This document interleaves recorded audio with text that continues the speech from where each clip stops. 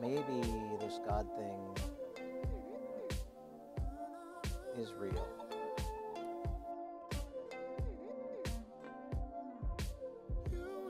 And if there is a purpose, what are we supposed to be learning?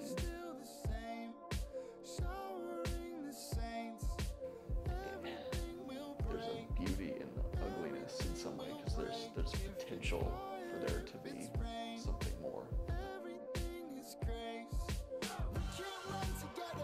Can we not find God because it's we're looking and instead of connecting? It wasn't until the most important people in her life were there praying over her that she died. My husband was not doing well, and we decided that we needed to move. An overpowering sense of awe. I get that. I get that periodically too.